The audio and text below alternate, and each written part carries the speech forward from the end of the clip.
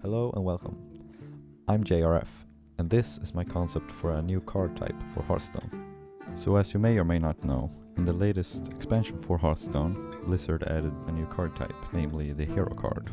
And so, for the first time since the beginning of Hearthstone, we have another card type other than weapons, minions, and spells. And that's what inspired me to create my own card type, the Glyph card. And so, here is what the card itself looks like. So much like the glyphs from World of Warcraft, it looks kind of like a scroll, and the art is surrounded by a glass socket. Uh, I'm really happy with the result, uh, I think it turned out great, and of course there are nine different iterations of the glyph card, uh, one for each class in the game. So by now you might be asking yourself what a glyph card actually does. Well, here's an example. Raven form, a druid rare glyph that reveals your opponent's top card. So the way a glyph works, or the idea behind them, was that they would add a passive effect to your hero. So in WoW, glyphs would passively alter your spells, and thereby also your gameplay. And I wanted the glyph card to resemble that in Hearthstone.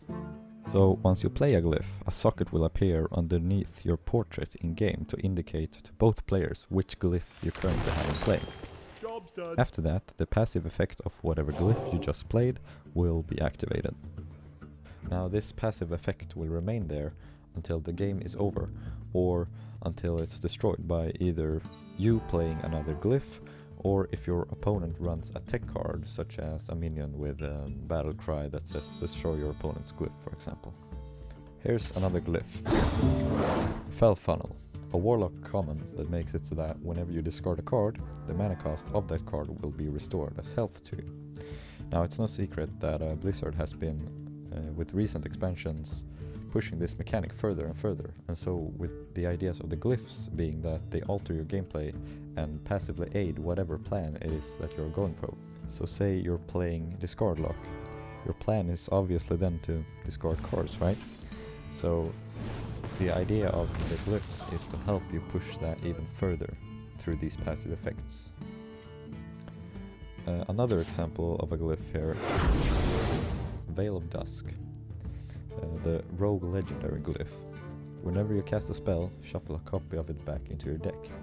So I don't claim to be a good designer by any means. Some of these effects are probably completely broken and would need tweaking.